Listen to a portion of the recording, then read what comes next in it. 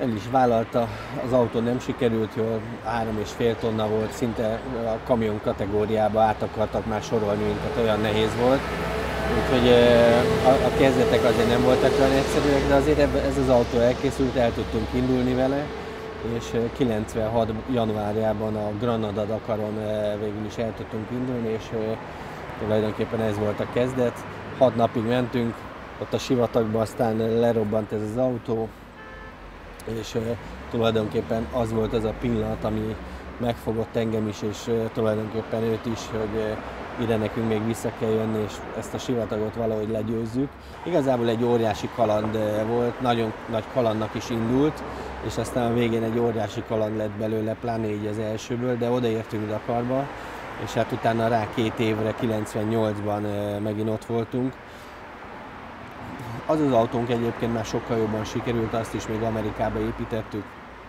Ott már egy Kurt Leduc nevű fiú az segített ebbe az egészbe, de ott is 8 nap után kiestünk, kb. ugyanoddá, odáig jutottunk egyébként így nagyságrendileg, hiszen ott is ez a Zueratos, Zuerat Tatár szakaszon estünk ki. Úgyhogy nem, nem jutottunk sokáig. 2000 volt a nagy fordulópont egyébként, amikor Jakab Tamással sikerült végvenni a Dakaron. Az is egy nagyon rendhagyó Dakar volt, hiszen Párizs, Dakar, Kairó volt az útvonal. Párizsban, Champs-Élysén elmentek az emberek a kikötőig, Le Havre-ba, ott a hajó, behajóztuk az autókat, levitték Dakarba, mi lerepültünk, és Dakarból mentünk Kairóba, tulajdonképpen ez volt a verseny. Úgyhogy nagyon érdekes volt az is érdekes, rengeteg ilyen érdekes sztori, sztori mentünk mi keresztül. Pont 2000-ben, például 98-ban is felrobbant egy kamion előttünk, 2000-ben az Akna mezőn egy másik kamion a Niger-Líbiai határon, és folyamatosan azért voltak itt nagy kalandok. 2000-ben ugye, ha már akkor is volt terrorista veszély, és két napot például kimaradt a verseny, hiszen átreptették az egész mezőnyt, három ilyen óriási Antonov repülő jött Oroszországból, mindenki beállt a kamionnal, autóval, helikoptereket, mindent beraktak, és az egész mezőnyt átreptették a, a zűrös zónán. Úgyhogy tényleg elég kalandos volt ez az első pár év, de 2000-ben, amikor teljesítettük, akkor, akkor így lezárult egy korszak ahol, na, meg volt, legyőztük mi a sivatagot, Szalai Balázs elszántságának és kitartásának köszönhetően az első magyar volt, aki sikerrel teljesítette a Dakar Rallit 2000-ben. A sivatagi autózásra nagyon nehéz felkészülni, hiszen hazánkban, sőt még Európában sem áll ilyen pálya rendelkezésre. A homokdűnék, a szél, az ismeretlen terep, a nagy hőség mind nehezítik a célba érkezést, hiszen még egy rutinos pilótának is kihívásokat tartogat ez a megmérettetés. 96-ban, amikor ez az első Dakar megvolt, és elhatároztuk, hogy ide még visszamegyünk, akkor, a, akkor elkezdődött egy úgymond felkészülés is, utána például 2000-től már rendszeresen mentünk más sivatagi versenyekre, és elkezdtük megtanulni, hogy kell a sivatagba vezetni egyébként. Hát az elején nem volt olyan nap, hogy ne ássunk volna, úgyhogy emiatt ott hát nagyon sokat tanultunk mi az első években, szinte a fele nap az ásással telt, akkor még nem is voltak ilyen hidraulikus kiemelők, amik ma már így a, a technológiailag megjelentek az autókon. Ma már megnyomok egy gombot, kijön egy hidraulika, megemeli az autót, és tulajdonképpen a, az autót emelem ki a homokból, nem pedig a homokot ásom ki az autó alól. Ez óriási különbség egyébként. Régen azért egy, egy órát így eltöltöttünk, ha egyszer elsüllyedtünk, ma meg 5 perc alatt szinte kim vagyunk az ilyen eh, szituációkból a technológia is fejlődött, az autó meg rengeteget fejlődött, most már hát a mai autó, meg az a régi autó, még a 2000-es autó is köszönő viszonyban sincs, tehát a, a, teljesen más.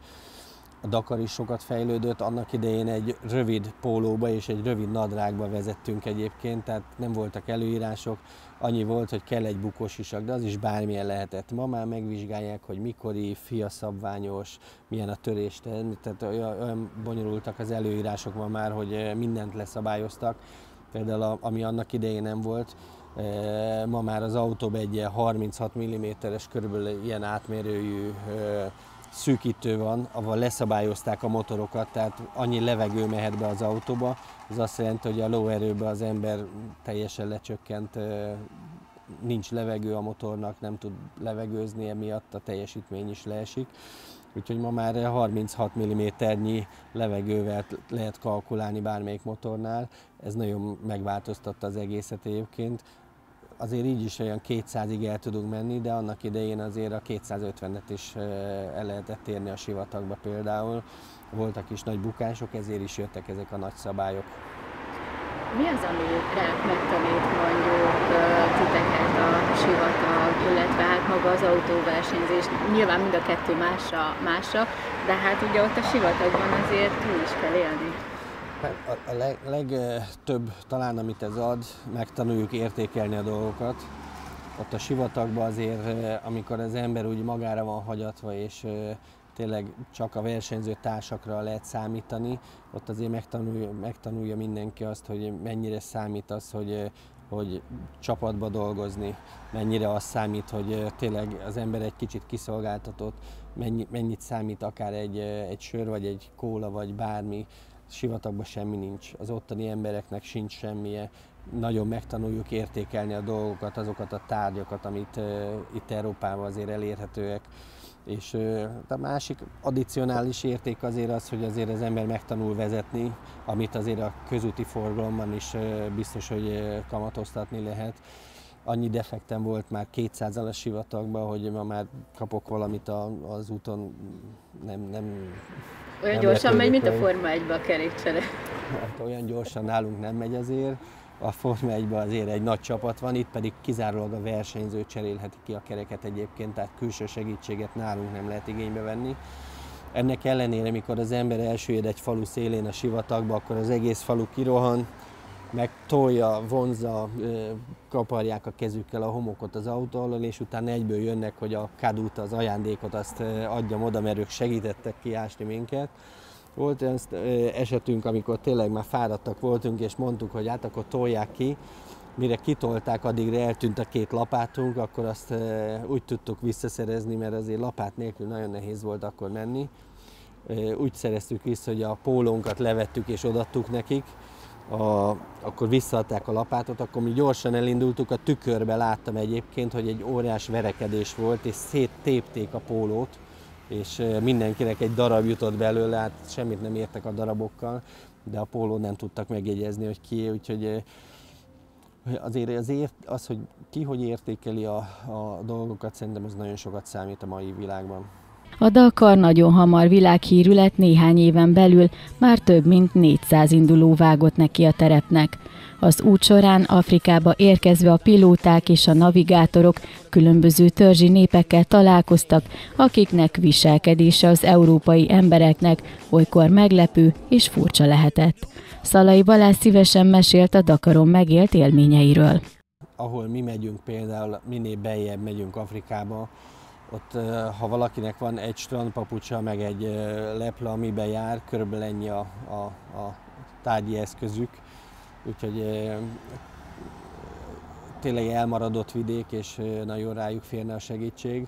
A rengeteg ilyen kis faluba betévettünk az autóval, amikor az ember így eltéved, és tulajdonképpen az, hogy a az, hogy ezek a faluk a, tényleg együtt laknak a kecskékkel az emberek. Tehát a mai napig tényleg ezek úgy laknak, hogy, hogy a kecske, az ember, a konyha, minden, minden egy ilyen kis fa, ág, bozótos házban van, köpülik a vajat, ott kézzel darálják a búzát, tehát tényleg, ahogy így az ember így két-háromszáz éve elképzelte, hogy Magyarországon hogy termelték így a mezőgazdaságban a dolgokat, ők a mai napig pont ezt csinálják. Tehát óriási a, a, a szagadék Európa és Afrika ezen részei között, de az emberek aranyosak, barátságosak egyébként, elég ritkák azok a szélsőségesek, akik, akik vannak, de azért vannak, például Zuerat határában volt egy olyan év, hogy hogy ott három ember kiállt fegyverrel és mondta, hogy ez az ő területük, ide mindenki bemehet, adjon 100 dollárt. És semmit nem tudtunk csinálni, mindenki fizette a 100 dollárt, és akkor mindenki mehetett. Aki nem akarta, lőtek a levegőbe, már fizetett, a UN katonák kijöttek, semmit nem tudtak csinálni. Mauritániában, Maliba például ezek a törzsi törvények a mai napig egyébként működnek. Ez európai észre kicsit felfoghatatlan így, hogy ennyit vissza kell mennünk a, az időben, vagy át kell állítani egy kicsit a, az értékeinket. Veszélyes egyébként a Dakar, vagy, vagy vannak bizonyos részek, ahol, ahol egy picit azért jobban oda kell figyelni? Abszolút veszélyes a Dakar. Hát a körülbelül 47 Dakarból, ugye, ami, ami eddig így volt, talán kettő olyan van, ahol nem volt halálos baleset például. Tehát e, ilyen szempontból is veszélyes. Amíg Afrikában volt, addig azért voltak ott, e, én, én nagyon sok olyat láttam, amikor tényleg külső e, hatásra. Például 98-ban volt olyan is, hogy hét autóra rálőtek a Mauritán-Mali határánál. A, elloptak kamaszt például, fegyver, kalasnyikovval lőttek egyet a levegőben, mindenki ugrott ki belőle, és már adták is oda. Voltak kalandok, de én azt gondolom, hogy ma is, hogyha még a Dakar ott lenne, ugyanilyen forró helyzetek alakulnának ki, de ugye 98, nem 2008-ban elköltözött a Dakar Dél-Amerikába, azóta is ott van, bár azt gondolom, hogy a 2019. januári lesz az utolsó dél-amerikai Dakar. Már beszélik, hogy 2020. januárban már Namíbia, Angola és Botswanába fog indulni ez a verseny.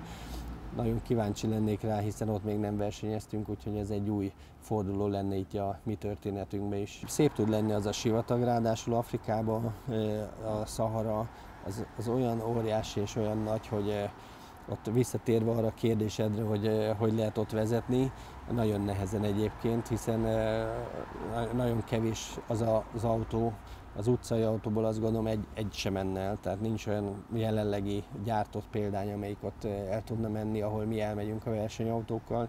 Tehát sajnos a turista nem is jut el soha olyan helyekre, ahova mi eljutunk a sivatagba.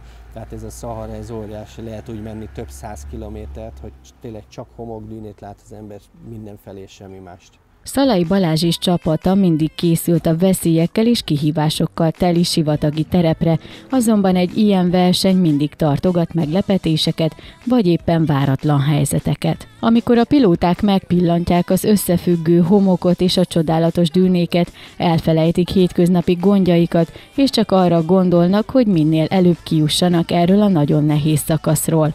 Szalai Balázs eddig 13 Dakaron vett részt, akinek tervei között szerepel a következő versenyeken való indulás is. Az az igazság, nincs idő gondolkodni. Tehát amikor az autóba ülök, az teljesen más, mint amikor utána esetleg megnézek egy videófelvételt, amit a helikopter csinált, ahol látszik az, hogy tényleg hol megyünk vagy esetleg olyan volt, hogy lerobbantunk, ott éjszakáztunk, és akkor azért az ember átértékel és felfogja, hogy ez a sivatag tényleg mekkora, olyankor lehet érezni, de amikor az ember versenyben van, akkor mindig csak arra a következő dűnére koncentrálok, na csak ez legyen meg, ez legyen meg, és dűnéről dűnére halad az ember előre. Amikor azért lerobbantunk 96-ban és 98-ban is ott éjszakáztunk a sivatagban, egyébként az is nagyon érdekes volt.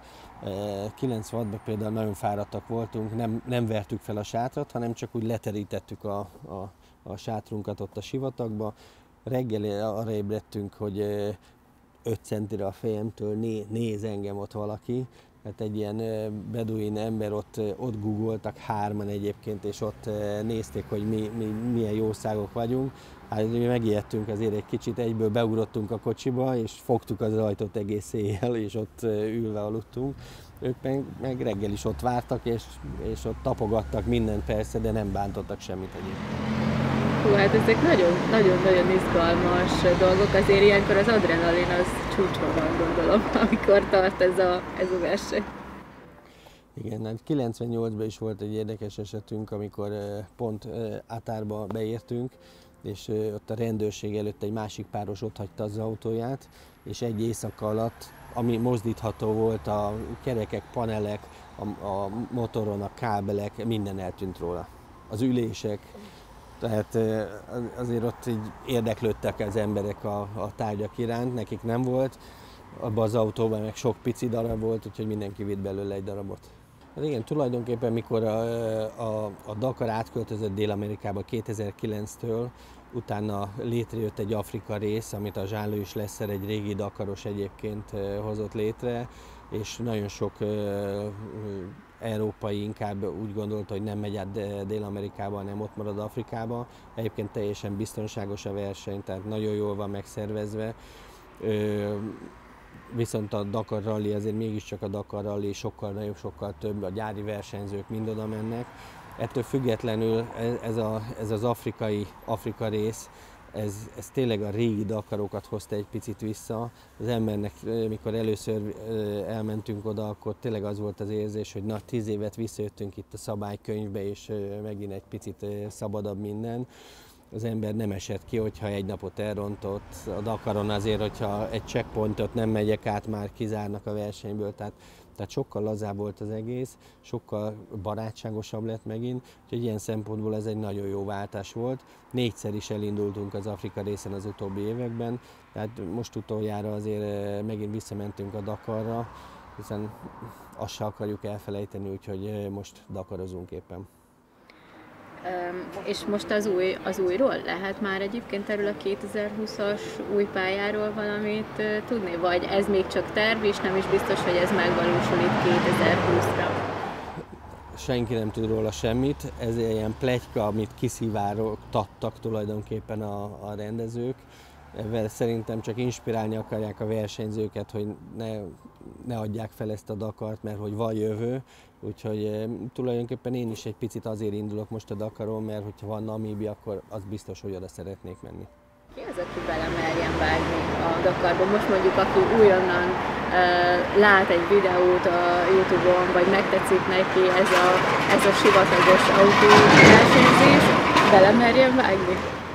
Hát én mindenképp azt, azt tanácsolom, hogy igen, bár azt hozzáteszem, hogy ehhez nagyon nagy kitartás kell, nagyon nagyon kevés az a fiatal egyébként, aki itt elindul, inkább a, a 30-40-50 évesek jönnek a versenyre. Egy kicsit a futáshoz hasonlítanám, a 10 évesek azok még 100 métert futnak, az ilyen 20 eh, évesek azok már 400, 800, 1500, és, és a 30-40 évesek nyerik a maratont. Blow my mind, baby.